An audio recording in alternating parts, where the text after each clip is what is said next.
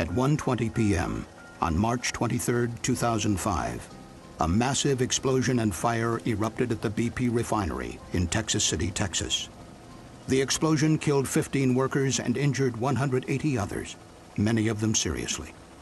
The blast occurred at the isomerization or ISOM unit, which produces materials to boost the octane rating of gasoline. The explosion shattered windows in homes and businesses up to three quarters of a mile away from the 1,200-acre refinery. As thick black smoke billowed from the plant, authorities instructed some 43,000 Texas City residents to stay indoors. The accident cost BP billions of dollars in victims' compensation, property damage, and lost production. This investigation was the largest and most comprehensive investigation in the history of the Chemical Safety Board. CSB supervisory investigator Don Holmstrom led a two-year investigation to determine the root causes of the accident. We interviewed over 370 witnesses. We looked at thousands of documents, literally millions of pages of documents, and we examined the plant, inspected over 40 pieces of instrumentation and equipment. The investigation team examined a wide range of safety systems, practices, and standards and looked at human factors such as fatigue and communication between operators. The board's report was released at a public meeting in Texas City on March 20, 2007. Then CSB Chairman Carolyn Merritt presided. Many of you here tonight had family members or co-workers who were victims of this explosion. To all of you, I express my deepest condolences and sincere wishes that society never allows another accident like this to occur. The tragedy at BP was the worst industrial accident in the United States in nearly 15 years. The CSB concluded that it was the result of organizational and safety deficiencies at all levels of the company. We found that BP management had, for many years, overlooked warning signs of a possible catastrophic accident. There's an old saying that um, if you think safety is expensive, try an accident. Accidents cost a lot of money, and they're not only in uh, damage to plant and in claims for injury, but also in the loss of the company's reputation. The reason why the Texas City accident has such an impact is because when people look at it, they can see that they are all in the same boat, that they, the problems which led to that accident uh, are likely to be present at uh, other sites around the world. My fear is that some of the some of the other refineries within the United States will feel that couldn't happen to me. And the ones that feel that that couldn't happen at their site is the ones that are set up to have it happen there. The following CSB computer animation depicts the sequence of events over an 11-hour period leading to the explosion at the BP Texas City refinery on March 23, 2005. Several units at the Texas City refinery had been shut down for lengthy maintenance projects, which required nearly a thousand contractors to be on site along with BP employees. BP had positioned a number of portable trailers close to process units for the use of contractors and other maintenance workers. Over a period of months, BP had located 10 trailers for workers servicing the ultra-cracker unit including a double-wide wood-frame trailer that contained 11 offices and was regularly used for meetings. Though these trailers were located near the isomerization unit, the occupants were not warned the ISOM unit was about to start up, a potentially hazardous operation. At 2.15 a.m. on March 23rd, overnight operators began introducing flammable liquid hydrocarbons, known as raffinate, into a 170-foot tall raffinate splitter tower used to distill and separate gasoline components. Near the base of the tower, there was a single instrument that measured how much liquid was inside. It transmitted this information to a central control room located away from the ISOM unit. But this level indicator was not designed to measure liquid above the nine-foot mark. During normal operation, the tower was only supposed to contain about six and a half feet of liquid. But during startups, operators routinely deviated from written procedures and filled the tower above the nine-foot mark, concerned that if the liquid level fluctuated too low, it would cause costly damage to the furnace. At 3.09 a.m., as the liquid neared the eight-foot mark, a high-level alarm activated and sounded in the control room. But a second high-level alarm, slightly further up the tower, failed to go off. By 3.30 a.m., the level indicator showed that liquid had filled the bottom nine feet of the tower, and the feed was stopped. The CSB later estimated that the liquid was in fact at a height of 13 feet, but operators could not know the actual level because the indicator only measured up to 9 feet. The lead operator had been overseeing the startup from a satellite control room within the ISOM unit. At 5 a.m., he briefly updated the night board operator in the central control room about the startup activities. The lead operator then left the refinery early, an hour before the end of the shift. A new board operator arrived in the control room around 6 a.m. to start his 30th day in a row working a 12-hour shift. He spoke briefly with the departing night shift operator and then read the logbook to prepare for the startup. But the logbook did not clearly indicate how much liquid was already in the tower and equipment, and it left no instructions on routing of the liquid feed and products when the startup resumed. Instead, the control board operator only found a one-line logbook entry that said, ISOM brought in some RAF to unit to pack RAF with. At 7.15 a.m., the day shift supervisor arrived. Because he was more than an hour late, he received no formal briefing from personnel on the night shift about conditions in the ISOM unit. At 9.51 a.m., operators resumed the startup. They began recirculating the liquid feed and adding more liquid to the already overfilled tower. As new feed was added, startup procedures called for regulating the liquid level in the tower using the automatic level control valve. But the board operator and others had received conflicting instructions on routing the product. As a result, this critical valve was left closed for several hours, blocking the flow of liquid from the tower. A few minutes later, operators lit burners on the furnace to begin heating up the feed, part of the normal startup process. While the startup was underway, the day supervisor left the refinery on short notice just before 11 a.m. to attend to a family medical emergency. Contrary to BP's own procedures, no experienced supervisor was assigned to replace him.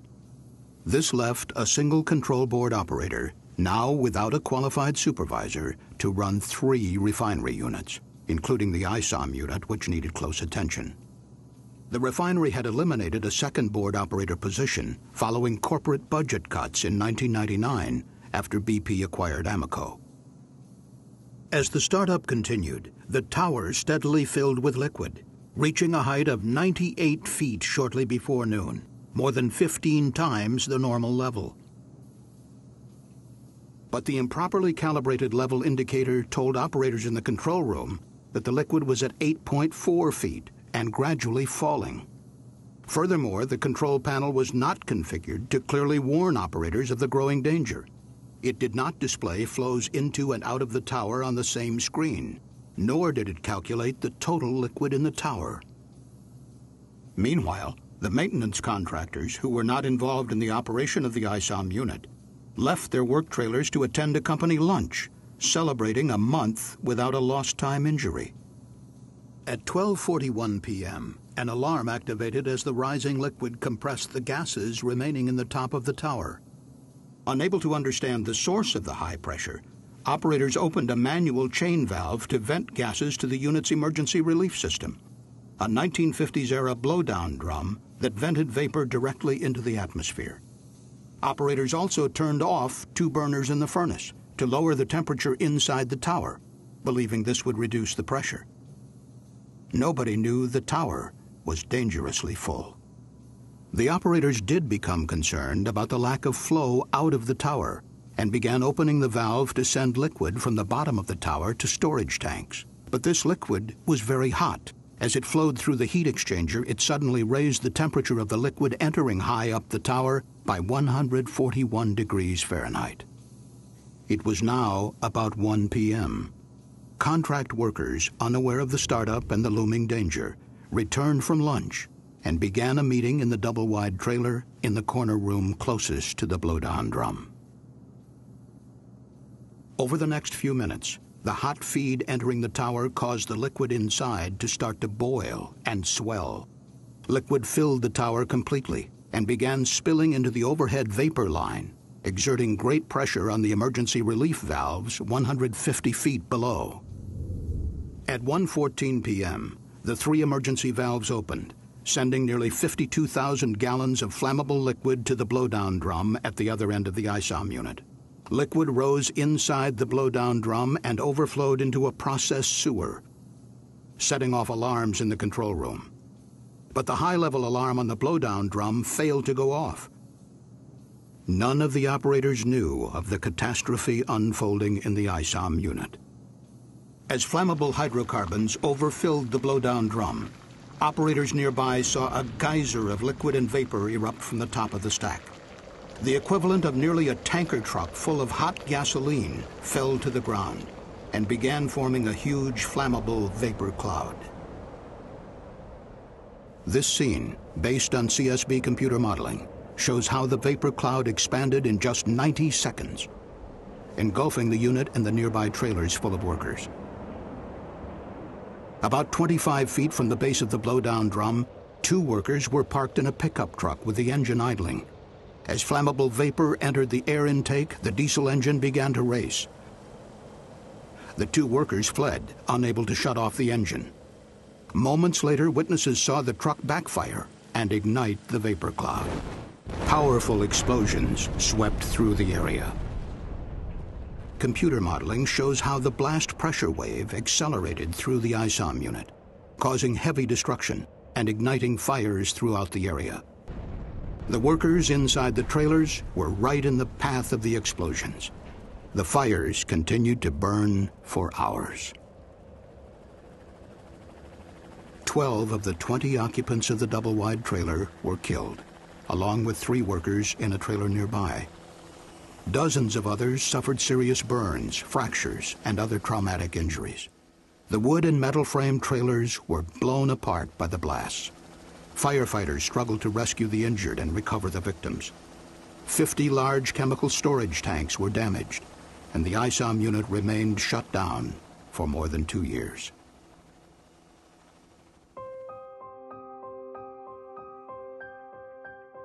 During the early stages of our investigation, our team had noted there were multiple safety system deficiencies at the Texas City plant.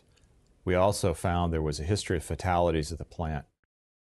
Prior to the March 2005 accident, 23 people died in accidents over a 30-year period at the Texas City refinery.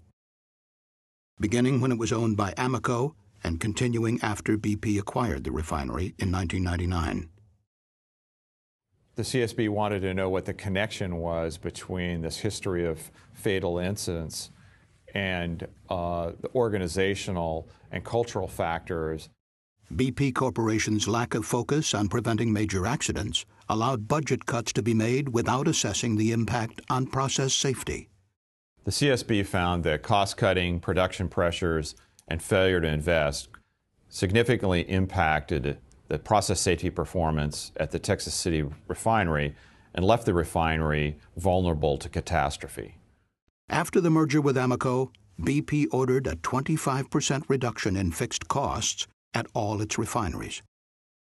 This impacted important process safety systems such as staffing, training, and mechanical integrity.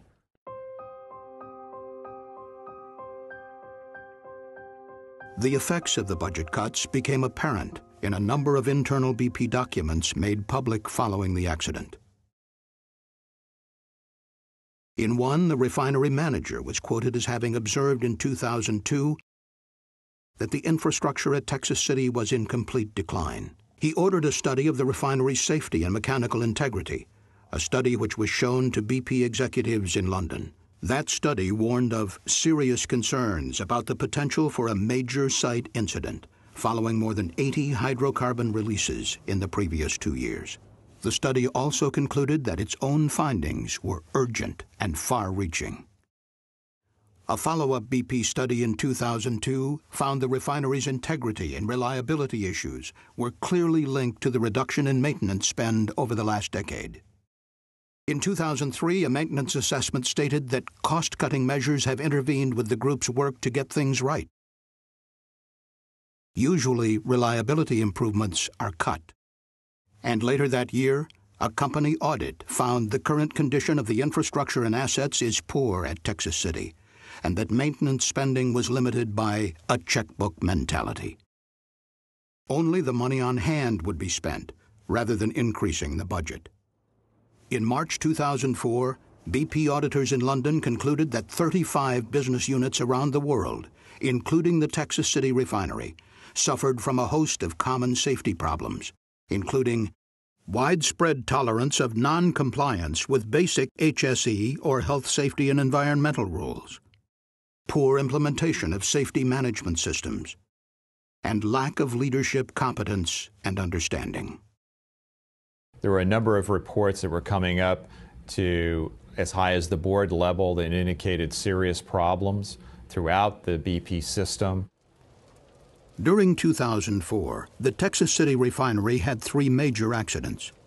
In addition to this process unit fire that caused $30 million in damage, Two other accidents in 2004 resulted in three fatalities. Yet this same year, the refinery had its lowest ever recordable injury rate, a statistic that does not include fatalities. The CSB found that maintenance spending increased between 2003 and 2004, but most of the increases were for responding to serious accidents and complying with environmental requirements, not for preventive maintenance.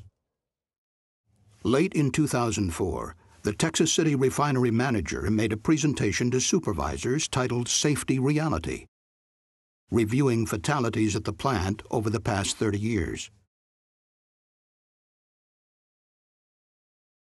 One of the slides was entitled, Texas City is not a safe place to work. BP did its own safety culture survey that was done just prior to the accident.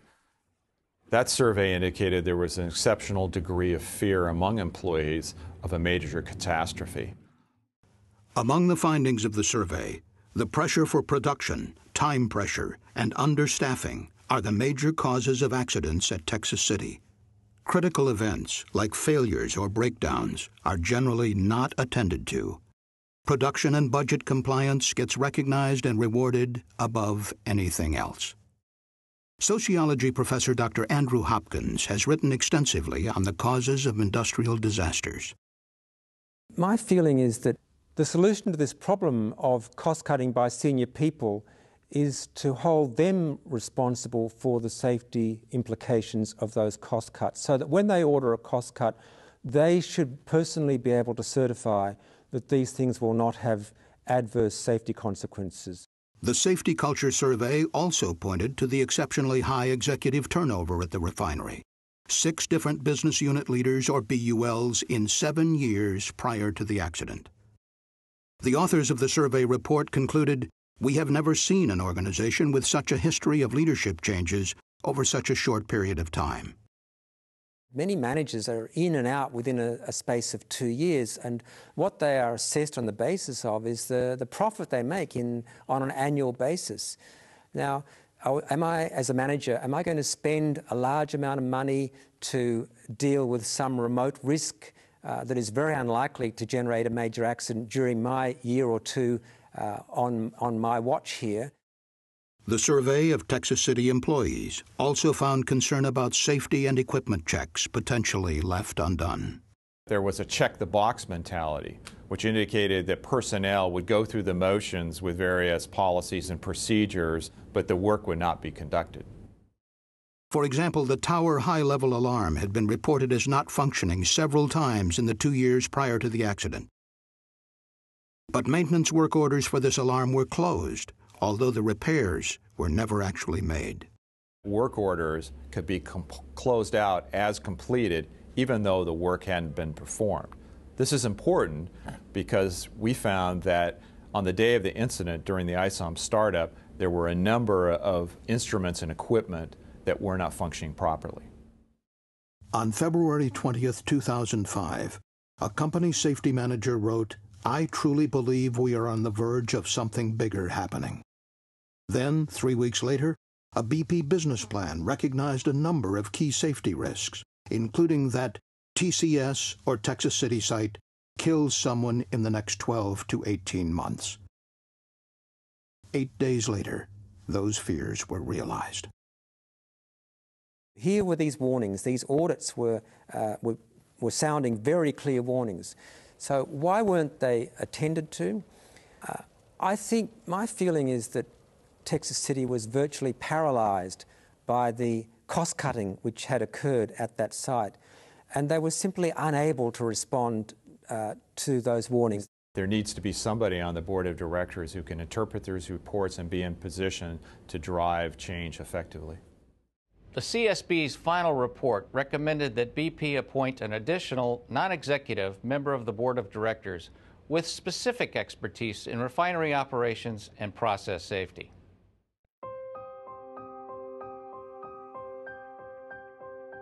So the problem at Texas City was that they were essentially um, blind to this issue of process safety. They were uh, focusing on personal safety. The CSB concluded that over a period of years, BP managers focused on lowering rates for personal injuries, such as slips, trips, and falls, while often disregarding key process safety indicators. We, as uh, members of the travelling public, uh, intuitively understand that the numbers of baggage handling injuries really tells us nothing about the likelihood of a major accident, an aircraft crash. And no airline in its right mind is going to try and convince the travelling public of how safe it is by telling you about its workforce injury statistics. Dr. Trevor Kletz is an internationally recognized chemical process safety expert. Process safety deals with the uh, fires and explosions and toxic releases and things like that.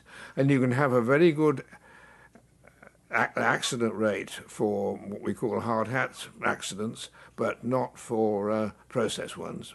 There are a whole series of incidents occurring at BP in the years prior to the accident gas releases, um, other kinds of, of releases, fires, all of which were telling you that process safety was not well managed. Do you need to measure process safety performance with the appropriate indicators, both leading and lagging indicators. Lagging indicators measure events that have already occurred, such as fires, explosions, and equipment failures. Leading indicators are designed to predict the likelihood of an accident before it occurs. For example, the percentage of equipment inspections that are overdue. The opening of a safety release uh, pressure relief valve is itself an indicator uh, that things are not as they should be. So we should count those and try and reduce the number of occurrences of those sorts of events. But the investigation found that BP did not effectively use leading and lagging indicators to measure and drive process safety performance. For example, BP's pay plan rewarded managers primarily for controlling costs.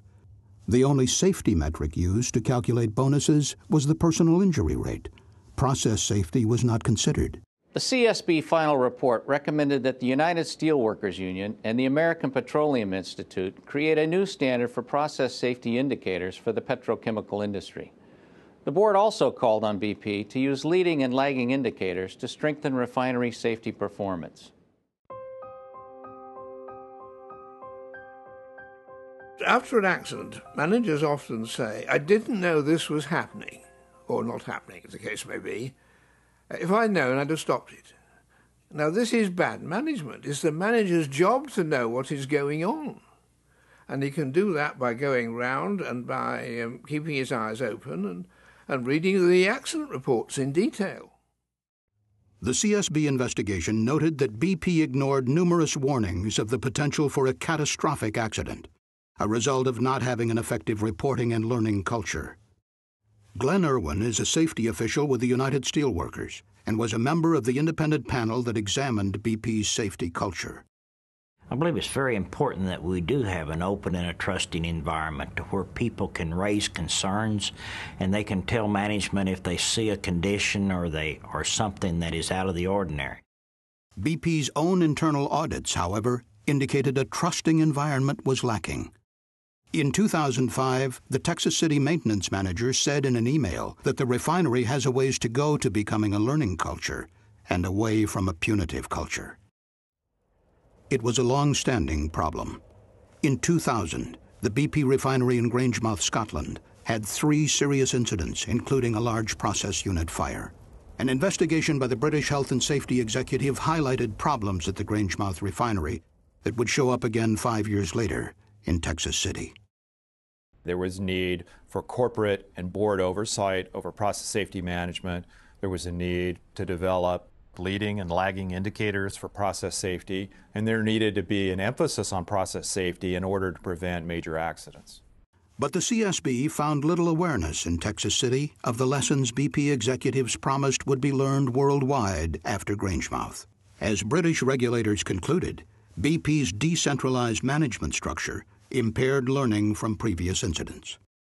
And the reason why BP failed to learn these lessons from other events, the reason why they uh, seem to have this, what I would call learning disability, lies in the, um, the way in which the organisation was designed. It lies in the bonus systems of payment. It lies in the decentralised uh, structure of the organisation. It lies in the, the organisational location of process safety experts. The CSB found that following the 1999 merger with Amoco, BP dismantled Amoco's existing centralized safety structure. The reorganization left a diminished process safety function that no longer reported to senior refinery leadership.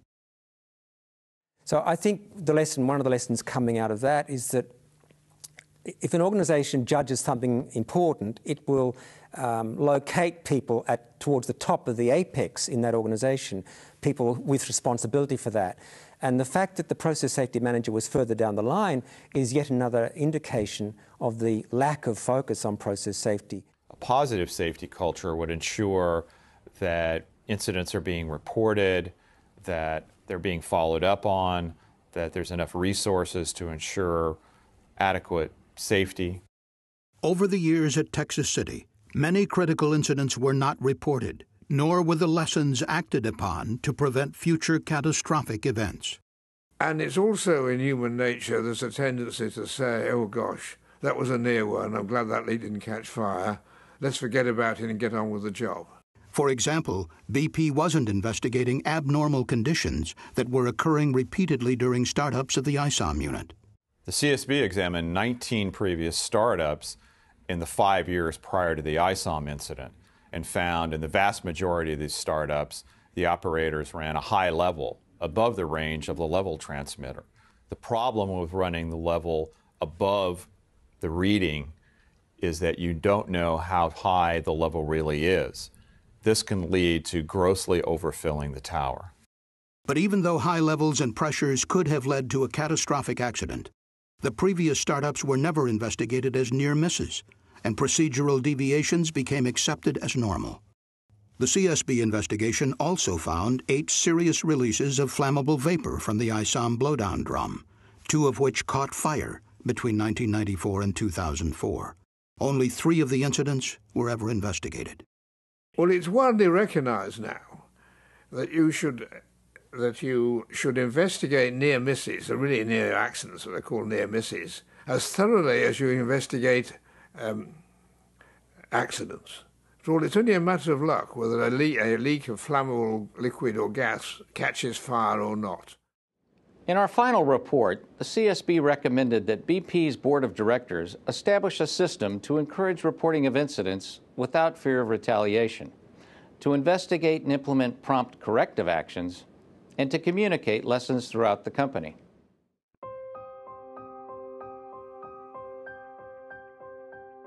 the first choice after an accident is to say, how can we improve the design so this can't happen? How can we remove the opportunity for errors? Even as releases occurred over many years in the ISOM unit, BP continued using equipment based on outdated designs.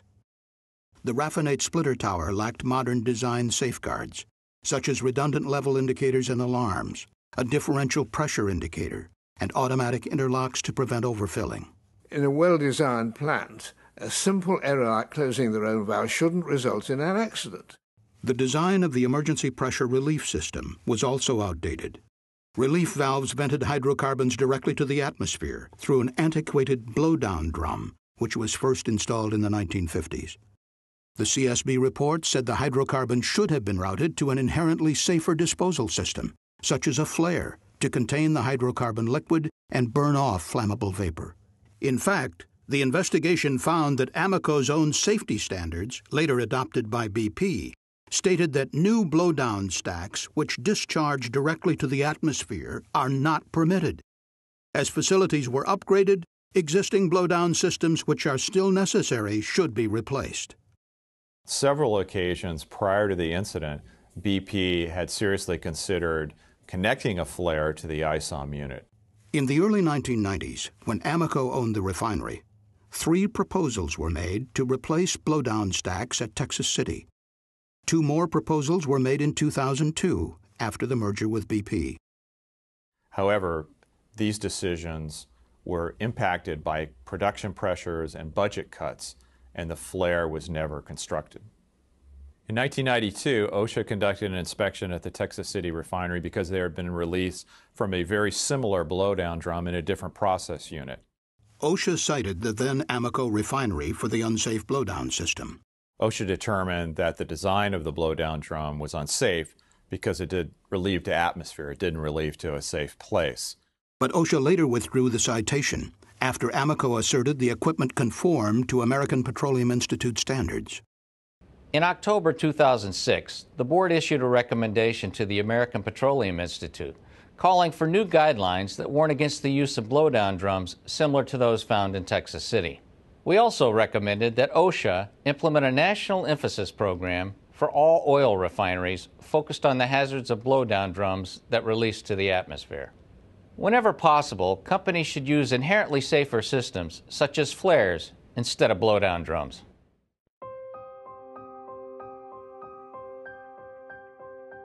The presence of occupied trailers near the blowdown stack added to the hazards of venting flammable material to the atmosphere. Prior to the incident and prior to the startup of the ISOM unit, a number of trailers, occupied trailers, had been placed close to the ISOM unit.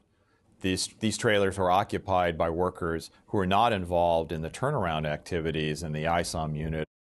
The investigation found this was a key factor leading to the deaths of the workers. They were right on top of the process uh, in trailers, close to as close as 120 feet from the blowdown blowdown drum, which is right at the edge of the isomerization process. CSB investigator Mark Kaszniak. Well, it is not safe to have trailers that, that close to a blowdown drum or at the edge of a, an active process in a, in a petroleum refinery. During an explosion in a refinery, you're actually safer in the open atmosphere than if you were working inside of a trailer. This is because the explosion overpressure uh, will destroy the weak trailer construction, resulting in the formation of missiles and walls collapsing, which, which is potentially fatal to the occupants. The CSB determined that industry siting guidelines did not adequately protect trailer occupants from the fire and blast damage that can occur hundreds of feet from an explosion like the one at BP. We found that these guidelines were not safe enough prior to this accident and resulted in placing people uh, in harm's way. In addition, BP did not follow its own management of change procedures before placing most of the trailers in a dangerous location. They did not assess the blast hazards posed to the trailer, and uh, action items that were created during the review were never followed up and corrected. Ultimately, the decision on where to place the trailers was largely based on convenience, not safety. And contrary to BP startup procedures, on the morning of March 23rd, managers did not remove personnel from the nearby trailers or even alert them that the potentially hazardous startup was taking place. The explosion totally destroyed 13 trailers and damaged 27 others, some as far away as a thousand feet. People inside trailers as far away as 479 feet were injured. In October 2005, the CSB issued an urgent recommendation to the American Petroleum Institute to revise industry standards and establish minimum safe distances for occupied trailers away from hazardous process areas. On June 21, 2007, the American Petroleum Institute issued new industry guidelines to minimize the presence of people and occupied trailers in hazardous process areas.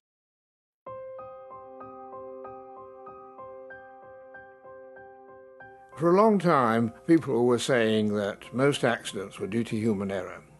And this is true in a sense, but um, it's not very helpful. It's a bit like saying that falls are due to gravity.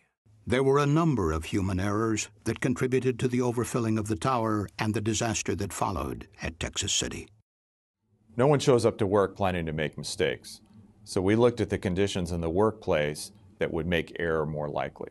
You really need to look at why the operators did what they did. CSB Human Factors Specialist Cheryl McKenzie.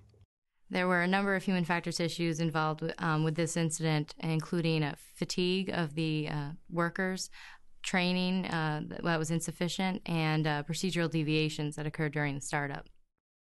The CSB investigation found that underlying conditions in the ISOM unit encouraged operators to consciously deviate from written operating procedures. Why did they make that judgment? I think they did because these procedures were, uh, some of them were out of date, some of them were inapplicable, they were routinely not following these procedures, and nobody had said otherwise. Nobody had said, hang on, you must be following these procedures. The investigation found that operators were concerned that if they let the liquid level in the tower get too low during startups, it would damage the furnace.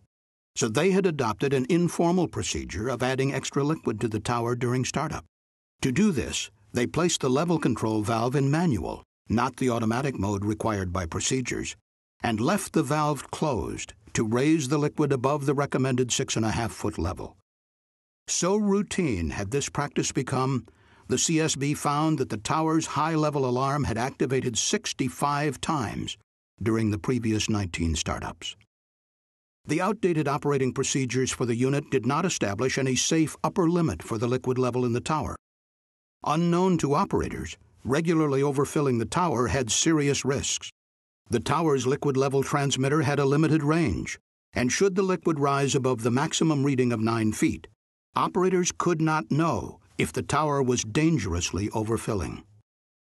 This informal practice of running the level in the raffinate splitter tower above the range of the transmitter led to running blind. They weren't aware of the dangers of overfilling the column and so they tended to um, err on the side of what they saw as caution by overfilling the column. So their, their systematic deviation from what they should have been doing was actually well intentioned. It was with the interests of the company at heart that they were, uh, they were violating the uh, startup procedures. But on the day of the accident, the routine deviation, overfilling the tower above the range of the indicator, coincided with a number of instrument failures which impaired the board operator's decision making. This had tragic results, as the board operator lost awareness of just how high the level was. The tower level indicator had been calibrated for years based on 1975 data for a different liquid used in a different process. As a result of the miscalibration, the indicator showed the level in the tower was declining just prior to the explosion, when it was actually increasing and a backup high level alarm on the tower failed to activate, seeming to confirm that the liquid level was dropping. A sight glass on the tower was dirty and unreadable and could not be used to visually check the liquid level. The investigation concluded that the board operator truly had no functional and accurate measure of the tower level on March 23, 2005. And when the liquid finally did spill over into the blowdown drum, the high level alarm there failed to go off. BP procedures required that alarms and instruments and other equipment be checked for their functionality prior to startup. The CSB determined that these checks were largely not performed. A poorly designed computer display in the control room added to the difficulty of determining if the splitter tower was overfilling. Liquid flows into and out of the tower were not shown on the same screen even though the computer could have been configured to do so. The investigation also found that communication problems among BP personnel during the morning of the startup increased the likelihood of errors. Operators received contradictory instructions on where to send the products from the tower, and the day shift operators never got clear information from the night shift about how much liquid the tower already contained. Well, then the board operator and the other operators that came in uh, during the day shift really didn't understand what had occurred the night before. So they're starting up this unit without full knowledge of the state of the unit, and uh, um, they're making judgments and decisions uh, based on incomplete information. The investigation found that BP lacked adequate policies and a management emphasis on effective communications. Key instructions on sending the feed into the tower were given over the phone and radio instead of in writing. Operators later told investigators these verbal communications were rushed and vague. Written communications in the logbook were brief and unclear. Night shift operators did not conduct a crucial face to face meeting to brief day shift operators on the conditions in the unit. Therefore, uh, they didn't realize uh, how much liquid was in the, the tower and the equipment, so they added more, which led to the subsequent overfilling of the tower, which later led to the release. The opportunities for human error were multiplied by the lack of adequate supervision, staffing, and training at the refinery. Training had been downsized, and that uh, training was largely delivered through computerized means rather than face to face training. BP did not train operators on the hazards of overfilling towers, and training for abnormal situations was insufficient. Despite recommendations dating back five years, simulators were not used to train board operators on making critical decisions. As noted in an internal BP email about simulators three weeks after the accident, Big pushback has always been initial cost. Budget pressures also impacted control room staffing. BP implemented a 25% cost reduction in 99. During the same time period, BP downsized the board operators in the ISOM unit from two to one. Later, BP added an additional process unit to the responsibilities of the board operator in the ISOM unit. The result was that you had three complex refinery units under the supervision of one board operator. According to BP's own assessment, even under normal conditions, monitoring and controlling these three units would require 10 and a half hours of the board operator's 12 hour shift.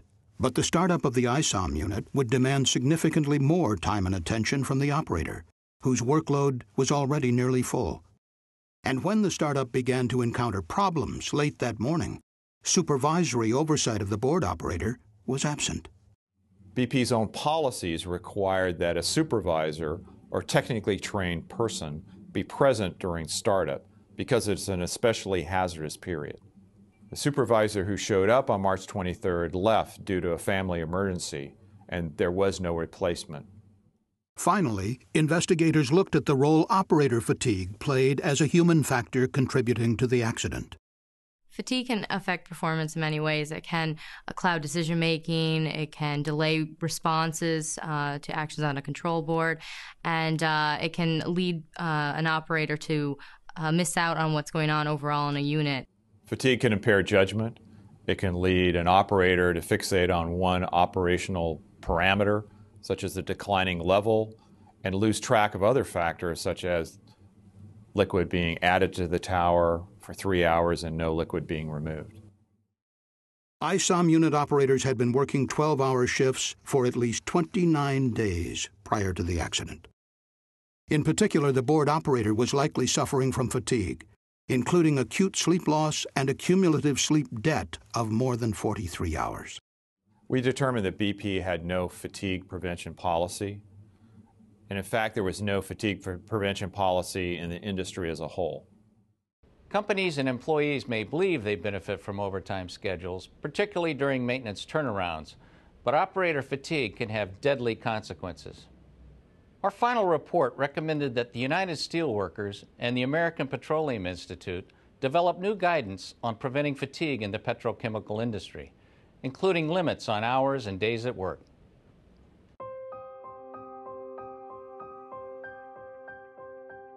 OSHA's 1992 standard on process safety management, or PSM, requires thousands of oil and chemical facilities to implement 14 management elements to prevent catastrophic releases.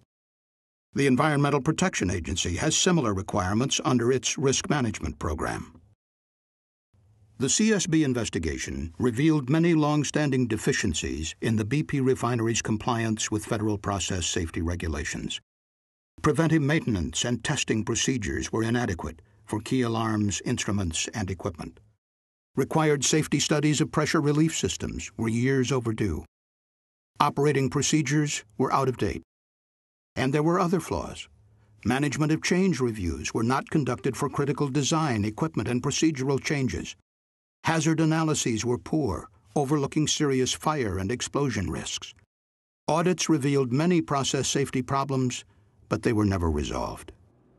OSHA's enforcement program for the PSM regulations requires planned, comprehensive inspections of facilities with accident histories or other indications of catastrophic risks. A 1992 OSHA directive stated the primary enforcement tool would be the Program Quality Verification Inspection, or PQV, a large, complex audit involving highly trained OSHA inspectors and taking weeks or months to complete despite the fact that the BP Texas City refinery had a long history of fatality incidents, there was no program quality verification or intensive PSM inspection conducted at that refinery.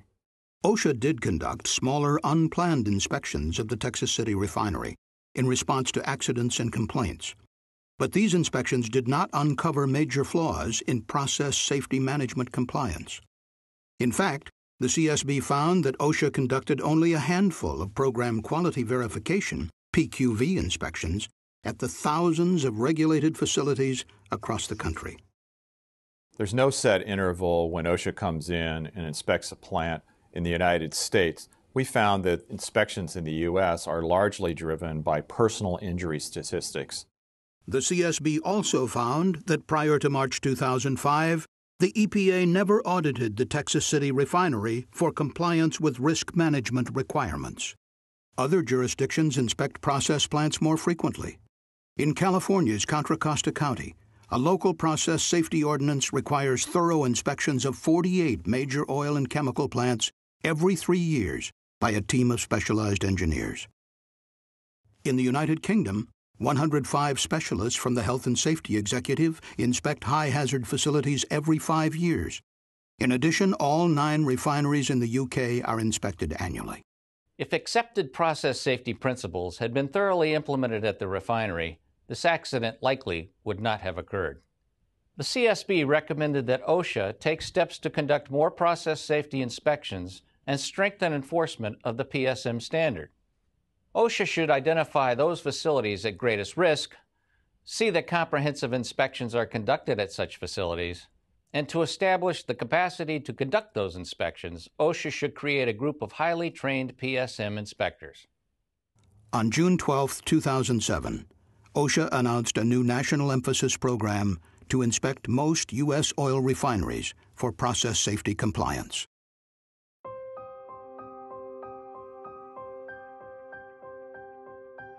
I participated in the panel because I lost a near and dear friend in this incident. A personal friend of mine was killed in this incident. And I thought it was very important that that the management systems be looked at with a fresh set of eyes. Early in the investigation of the Texas City accident, the CSB observed what appeared to be a pattern of safety deficiencies. We therefore issued an urgent recommendation, the first ever by this agency, that BP convene an independent panel of experts to study the safety culture of its five North American refineries. In October 2005, BP established an 11 member panel that included leading industry, labor, and academic safety experts. It was headed by former Secretary of State James A. Baker III. The panel found that BP did not ensure, as a matter of best practices, that its management implemented a comprehensive and effective process safety management system. The report, issued in 2007, concluded there were instances of a lack of operating discipline, toleration of serious deviations from safe operating practices, and apparent complacency toward serious process safety risks at each of BP's North American refineries. The Baker panel also voiced concern that other companies share similar problems. Ladies and gentlemen, we are under no illusion that such deficiencies are in fact limited to BP. One of the things that I'd like to see personally, after having served on the Baker panel, is that we will never have another incident of this magnitude the number of people that were killed, the number of lives that were changed. So many good, hardworking people go to work every day, and too often some never return. I think the work that we did in the Baker panel, I believe that if this, if our work is applied within our industry, we will not see another BP explosion. The Baker panel report concluded that the restructuring following BP's merger with Amoco had resulted in a significant loss of people, expertise, and experience in the refining sector. Only much later did BP recognize the negative impact of these changes. The CSB's final report said all hazardous chemical operations should be required to review the safety impact of major organizational changes. The board recommended that OSHA amend its process safety management standard to require management of change reviews for mergers, acquisitions, personnel reductions, budget cuts, or other organizational changes that can impact process safety. We also recommended that the Center for Chemical Process Safety develop guidelines on how to perform organizational management of change reviews.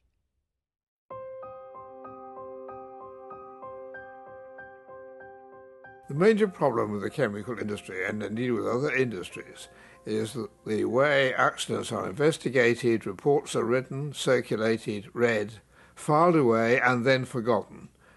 And then, five, ten years later, even in the same company, the accident happens again. There is a saying that organizations have no memory. Only people have memory. Once they leave the plant, the accident, the code there is forgotten about. And what uh, companies must do in the petrochemical industry is realise that the fact that you've had 20 years without a catastrophic, uh, catastrophic event is no guarantee that there won't be one tomorrow. You have to keep your eye on the ball constantly. All oil and chemical businesses should seek to learn from the tragedy at BP. The CSB believes there are key lessons to be drawn from our investigation.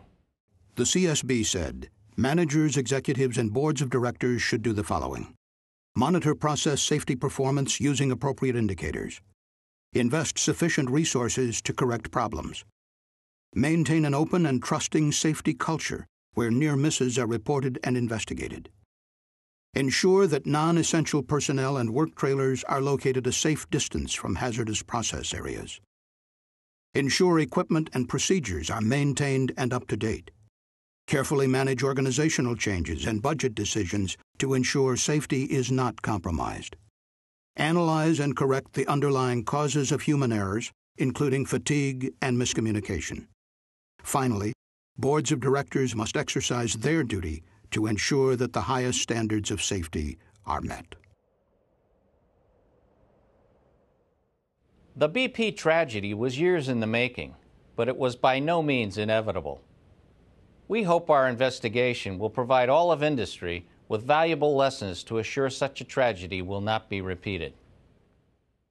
For the CSB's final report, key investigation documents, the Baker Panel report, and other information, please visit the Chemical Safety Board website at csb.gov. BP cooperated with the CSB investigation and provided documents and witnesses voluntarily.